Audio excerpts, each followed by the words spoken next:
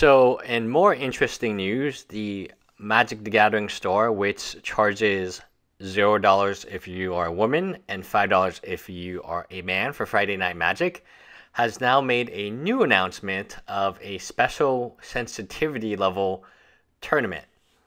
As such, while you play, the group will be open to discuss some of the more sensitive issues of playing Magic, including but not limited to being a humble winner, not being a bad loser, when to call a judge, what to do if another player offends you, as well as the most offensive of all, table flipping. So this is Treasure Coast Magic, which Reddit has gone essentially to tear down their website, tear down their Facebook page, and reported them to Wizards of the Coast multiple times to try to get them suspended. This is their reply, and they originally came up with the concept of having uh, free female night where females would play wouldn't have to pay the entry fee for Friday Night Magic instead of paying five dollars. They would be able to enter for free, and this would you know, somehow promote female players. Now, they have a new pricing schedule actually, since in the past our ladies free thing has offended some. Entry fees will be as follows men $5, ladies $10, guys who are easily offended $15, women who are easily offended $20, and there's free hand holding will be provided throughout the event for the more sensitive players.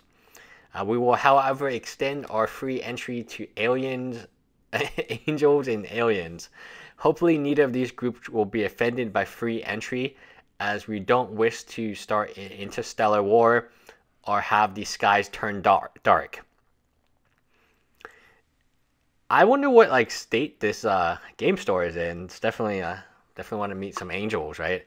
But anyway, I don't know. What do you guys feel about this response? Do you feel like it's appropriate? Do you feel like it's? I mean, they're pretty much going to shut down the store. If there's one thing Reddit is going to do is they will shut down the store for pretty much mocking them.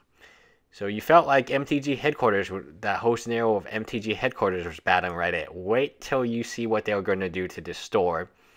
And I, I mean, I don't even know what to make out of it. So leave me a comment below. Do you agree with the store? Do you agree with Reddit? Are you somewhere in between? Uh, which side would you take? Would you go to this tournament? Do you feel like that everyone should be priced at the same price? Should there be specials? Um, I don't know. I just don't really know. Anyway, bye guys.